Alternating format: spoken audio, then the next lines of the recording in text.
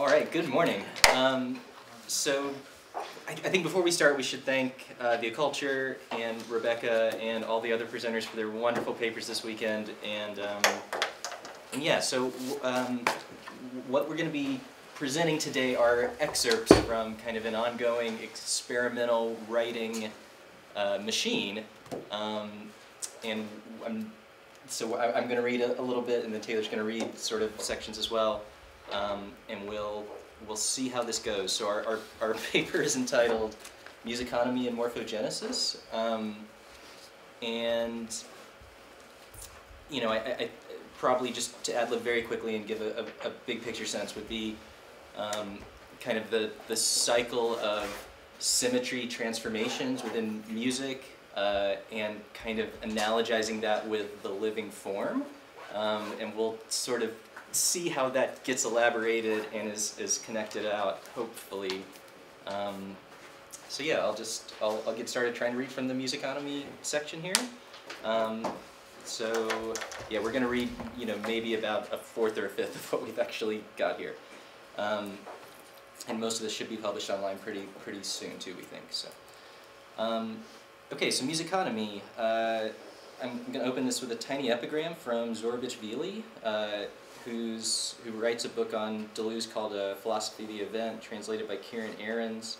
Uh, in the section "Time and Implication," he says, "Time is the intensity of bodies." This is like intended to kind of summarize Deleuze's on ontology of time. Um, okay, so a nexus forms between life and thought in which music resounds. Um, music demonically combines life and thinking into a work or a destiny. Um, Agamben writes in The Adventure, For the poet, what was at stake in The Demon was the attempt to turn the nexus of his life and his work into a destiny. Um, and so we, we want to suggest that in the crystallization of music, time is recovered or regained or regenerated. Um, so time is, is disjoint or serialized. Um, and these series may be fixed in a, a complex moment, maybe uh, something like what Mr. Ford was suggesting. Um, these various instants that are disjoined and the series of time that are themselves disjoined are transfigured in a crystallization. Um, and so the, the temporalities involved in art are quote unquote of the last instance. They're one time each time. Uh, and Artaud suggests that the poem is burned on reading. Um, so art is consumed by immanentizing it, uh, and afterwards it can only be resurrected from ashes.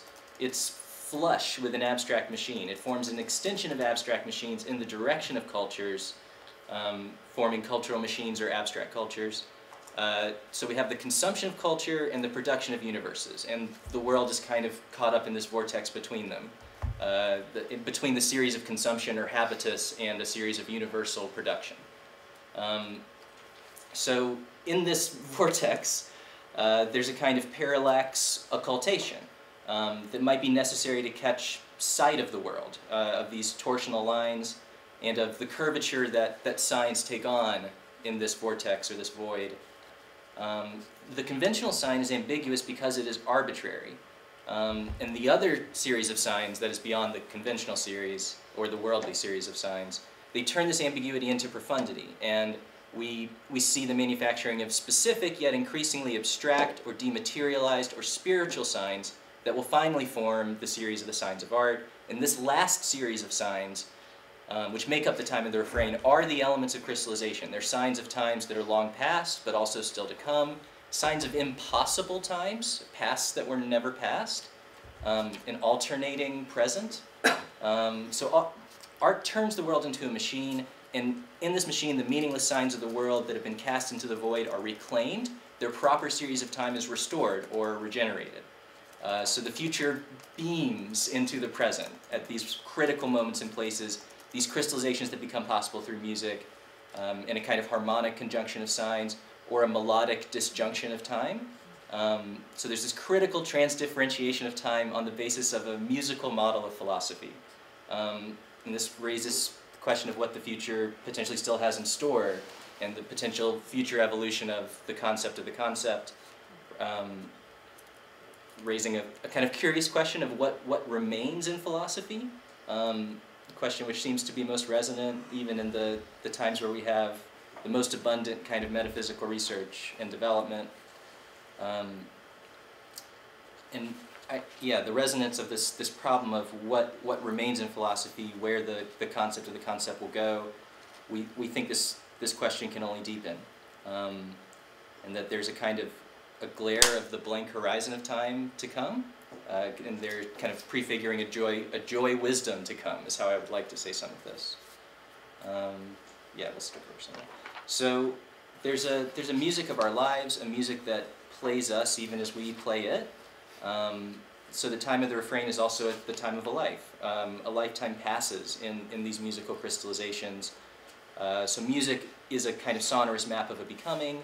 Time crystallizes into disjunctions, into a moment and a context, a refrain that's also a signal, a body that's also a transceiver. Um, and so all these series diverge, and in the last instance, they're only unified by a, an accident, a contingency, or a, indeed a deliberate crashing of all the stratifications of the series of time. Um, so music can do this uh, through its phenomenological singularity, through its revelation.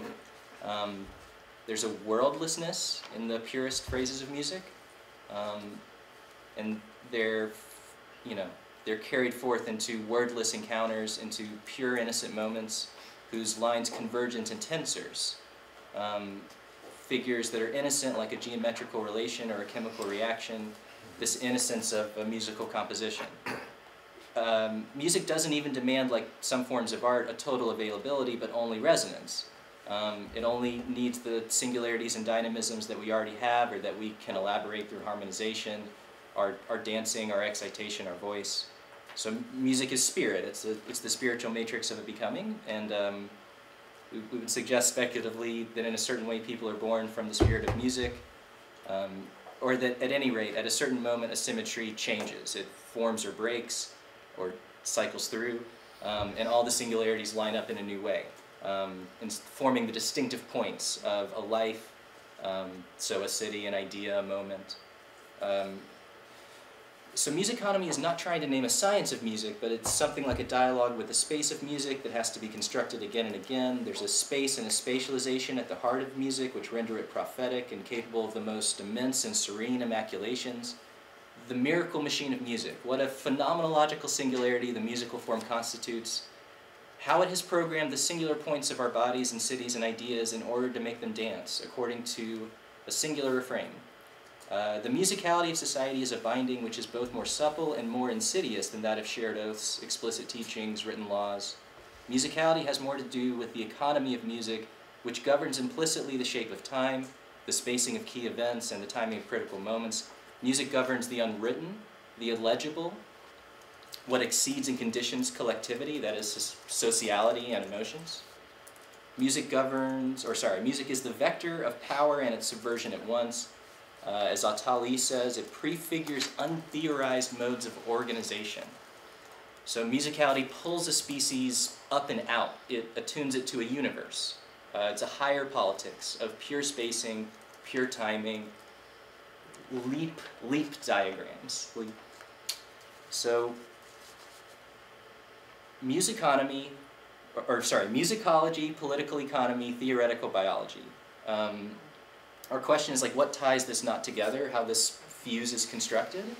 Um, we would suggest the answers in temporization, in the lines or the series of time which stitch together a city, an idea, a life. In this stitching, a, a crystal of time is produced. Time in its pure state, which is frozen or compactified. Um, but then this crystal thaws and a pure time is released. Time is regenerated, recovered, time regained, time reconquered. Um, so in crystallization, there's a repetition in space, um, and in vitalization, there's a crisis of time, a repetition at the, the limit of a kind of maximal approximation. We're sort of back to the symmetry, like a cycle of symmetry changes that bring us back around. So a non-ergodic quasi-repetition. So this is a, a system that's far from equilibrium whose phase is kind of its own phase. And we, are talking about a, a being of this phase. Um, so musiconomy recognizes fundamentally that time is non-substantial, so the past does not exist. There's a, and this, this accounts for the singular poignance of the disjunction of time, um, the recovery and, and memory of the past that, that was, in a sense, never present. Um, so time operates according to a, a, crystallization, to a vitalization, and finally a culturalization. And so we have a repetition spaci spatio-temporal dynamics according to a distribution of singular points that are conjugated according to the crises of these points. Mm-hmm. Um, so the, the critical point is extended into a line or a living form.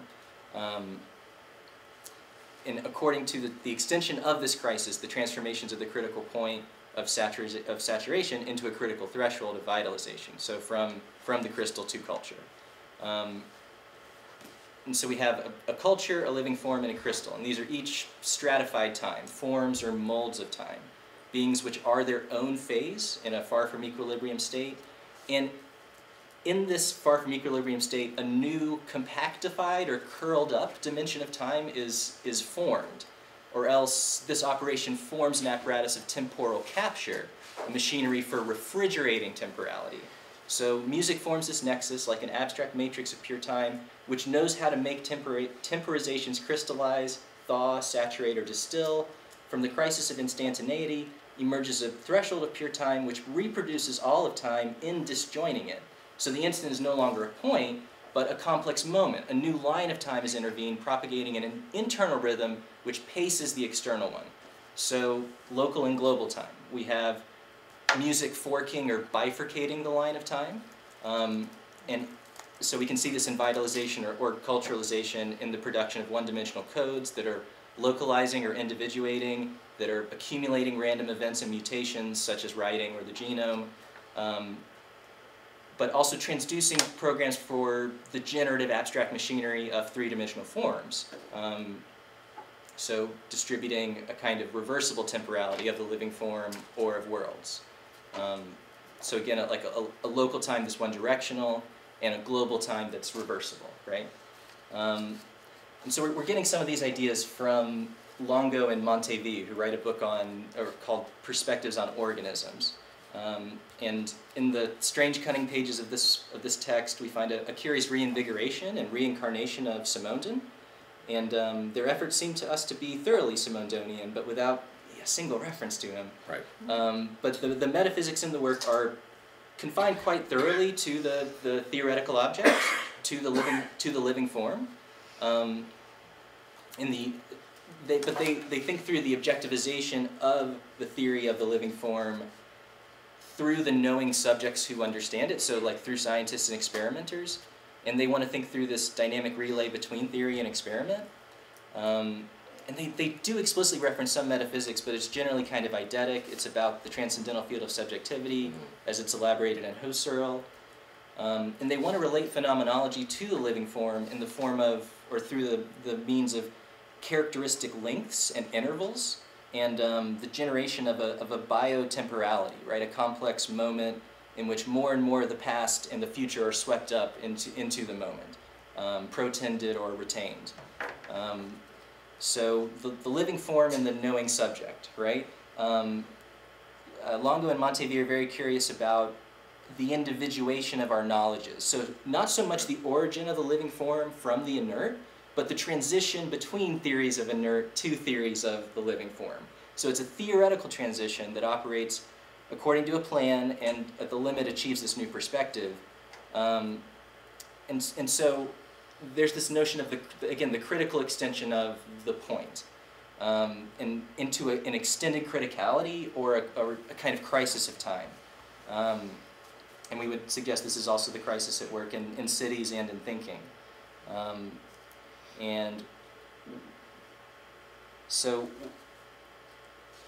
we, we, think this extended criticality can, can be of importance in understanding the process of time it, itself becoming crystallized, um, hopefully as part of an analysis of the Deleuzian notion of the crystal of time. And we think Simondon is fundamental to all this, um, at least in terms of the individuation of technical and vital knowledges, um, individuating our knowledge of living, you know, of the knowing subject and of the living form. Um, and we, we want to approach the living form as a transcendental field of singularities, of symmetry transformations, of plastic transdifferentiation and of transduction of form and matter and content. So the, the perspective on organisms that Longo and Montévil engender through this daring conception of extended criticality, it, quote, approaches the mathematical nature of biological objects as a limit or asymptotic case of physical states. The latter, these asymptotic cases of physical states, may yield the dense structure of critical points in a non-trivial interval of viability, situation not considered by current physical theories, who are concerned mainly with equilibrium or close to equilibrium states. So in a sense, it is the very principles grounding physical theories that we are modifying through an actual limit. In short, biological objects are analyzed here in terms of partial but continuous changes of symmetry within an interval of viability as an extended locus of critical transitions. So biological time, in, sorry, end quote. So biological time is paced by symmetry changes. We are cycling between singularities or combinations of singularities, configurations, and we are subject to these anomalous orbits um, in, in a kind of phase space. So life is a kind of limit of physical inertia, a supersaturation of critical, of critical points that introduces a new internal temporization, a new dimension of time, a crystallization by other means, uh, capture of singularities by the living form, a transcendental evolution of time, or a revolution in music. Music is a revolution against time, uh, the invention of a new order of time, or a vitalization and regeneration of time. So the time of the refrain is time reconquered, or at least it holds out this possibility of warding off black hole effects, of preserving singularities unscathed, of thawing the crystal, and permitting new cycles of symmetry transformations. Um, so life goes on, or it is combined with thinking into a new work, possibly a new earth and a people to come. Um, and I think at this point we would just indicate a kind of strange destiny of both the living form and the refrain um, to potentially reverse the flow of time, or at least to form new kinds of systems within time.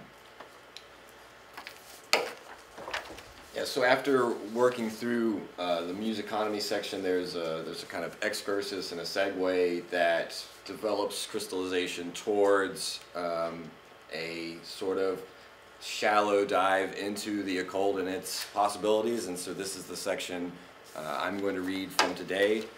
Uh, as Felix Guattari said, there's no language in itself. It shouldn't be presupposed as universal. And we also believe that there is no occult in itself, right? Uh, o cultures, with an O, always imply counter, adjacent, or subjacent acculturations with respect to the majoritarian cultures as their conditions of possibility, which we ask, does culture depend recursively on the occult? So it is important to distinguish in cultures and occultures between the cruelty of, as Deleuze and Guattari talk about in Anti-Oedipus, the primitive territorial machine, the terror of the despotic machine, and then the postmodern cynicism of the capitalist machine. Because the movements and maneuvers sweeping along the occult are not the same from machine to machine. So does this mean that the occult always reacts to the dominant codes? We were kind of investigating this. Um, like the question of writing, the question of the first occulture indicates a disparity between zones of power and a nascent imperialism. This is the question of the first initiate and the first occulture. Uh, Solomon straying from Yahweh's exclusivity, the lore of Moloch. Can we say it is simply a lore of annihilation or the cruel music of destruction, of sacrifice? Um, does the enjoyment of music lie in sacrifice? The love of life burning itself out, love and burning immanence.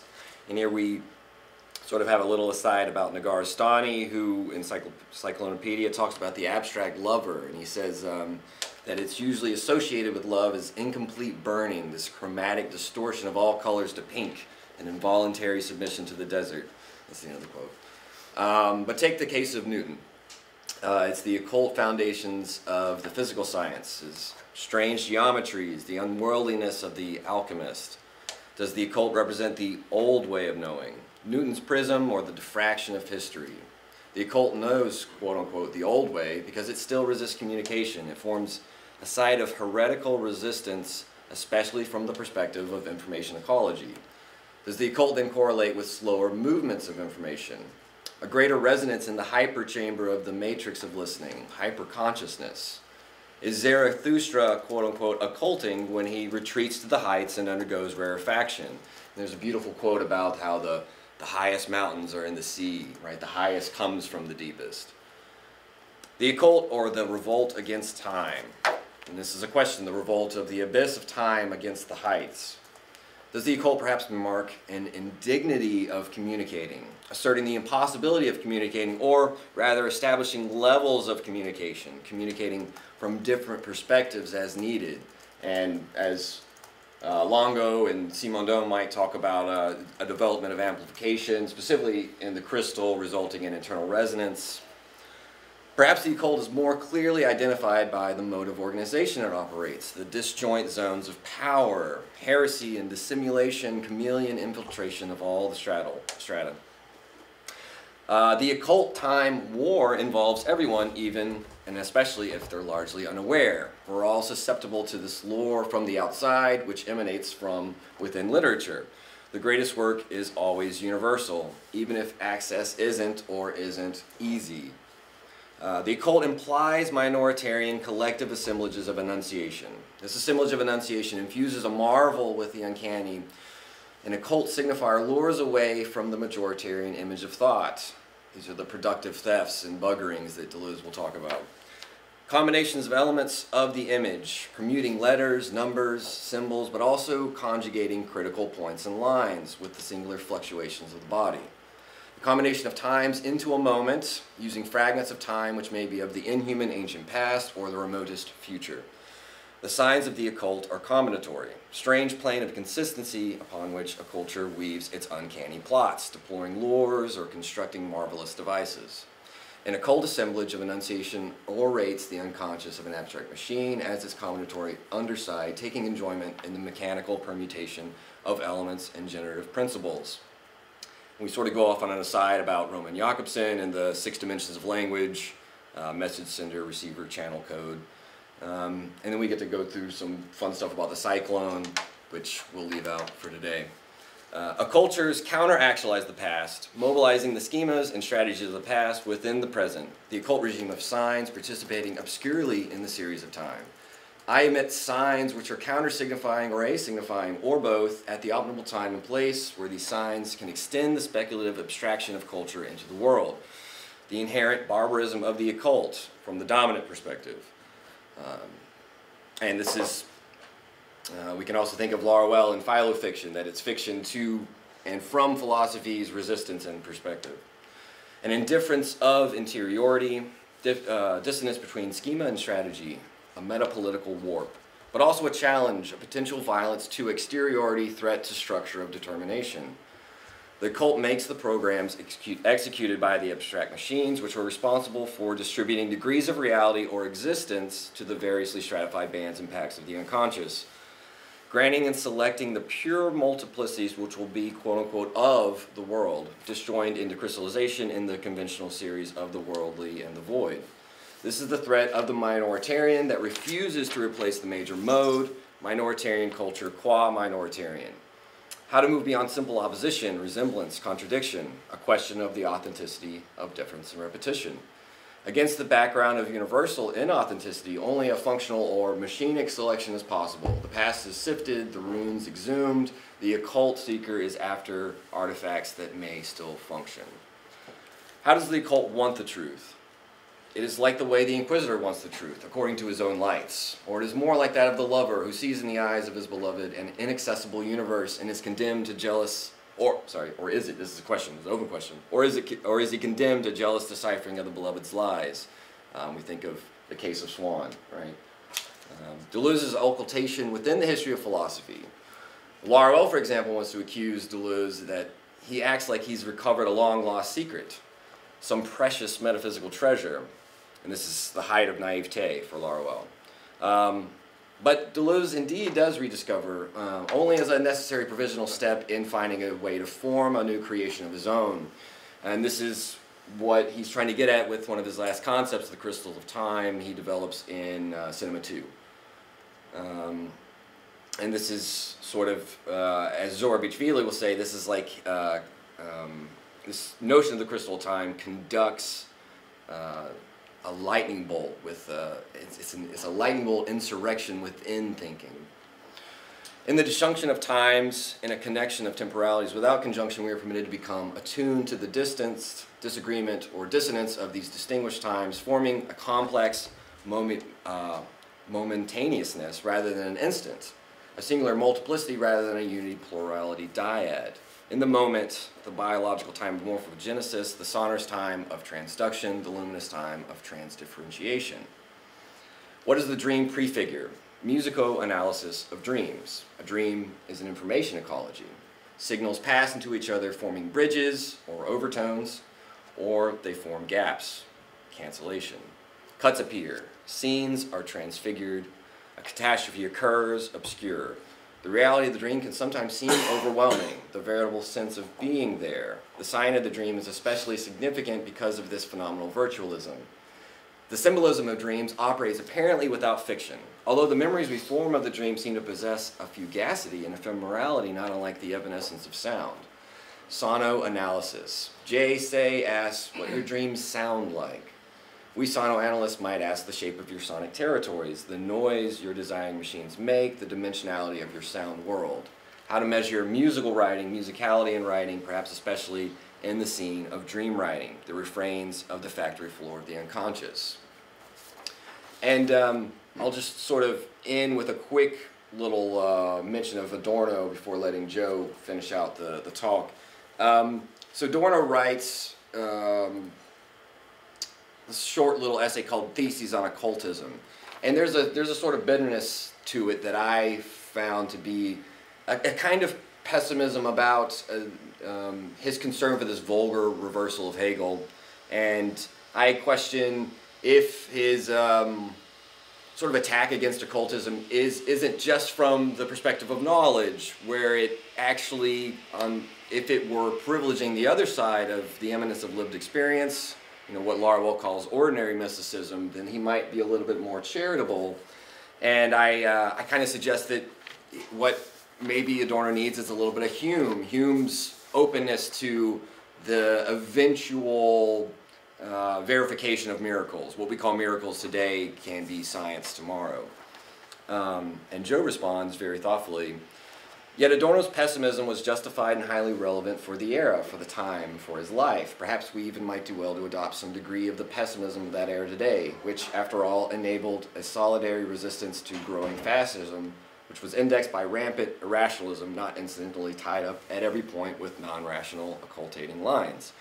Irresponsible usages of mystical disjunctions. The importance of a dose of experimental verification is well known to the great master of aesthetics, dour as he may have been or been made to become by the tragedies he endured. He's thinking of the Shoah, his exile, the terrible certainties um, such a life must have offered. The problem of optimism and pessimism is perhaps behind, besides the point of the occult, whose joyous devaluation of the major image and subversion, ridicule of images of reason may take on a positive or negative valence. It is the negative pole of unreason which connects up with fascist irrationalism. And this is where the, the prospect of hyperreason uh, can be engaged. But you know, we're running short, so let me hand back over to you. So by way of conclusion, let me read a section that we've entitled Memories of a Sono-Analyst. Uh, Just a paragraph. It's a, yeah, it's a quick paragraph. So, uh, taking time for sound, making space for it, without sinking into the noise, but traversing in archipelagic movement the fantasy of listening.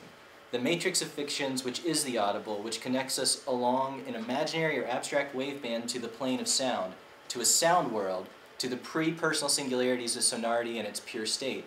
Sound is upstream of culture. The way in which we hear a cultural refrain, the way in a worldly sign passing through the void strikes us becomes a fascinating sign to decode lovingly. The attachment, always the same song, it had to be you. And the way the sad passions are tied up in this expressive line of pure sound or subjectivation, the musicality of territorialization. The subjection of music is also the object of territoriality. How does music become the property of the territory, a pure sonic trait or aesthetic aspect, a dimensional factor or coefficient of deterritorialization? A musical line is like a vector field or tensor which leads us forward, pulls up and out along a spironomic line of development towards the transindividual, towards rarefaction, in the direction of infinite variation, pure variability of the music line, pure phrasing of a musical time, a time which intervenes into its own elaborating, inducing serialization, crystallization, fragmentation. Time is out of joint, it coalesces into crystalline disjunctions, it rewrites itself through memory, it is transfigured and becoming intense, which activates the entire milieu. The whole universe takes on a new tint. The temperature is increasing chromatic distortion to pink. Music is love or universal consciousness of becoming everyone and everything, which follows the path of infinite variability, adrift on a line of continuous transition, subject to a pluripotent and cyclonic symmetry, the dynamic extension of crisis, plastic amplification of catastrophe, and incomplete burning. Perhaps incomplete owing to the counterformation of anastrophic lines of regeneration, recovery, and temporal reconciliation. Thank you.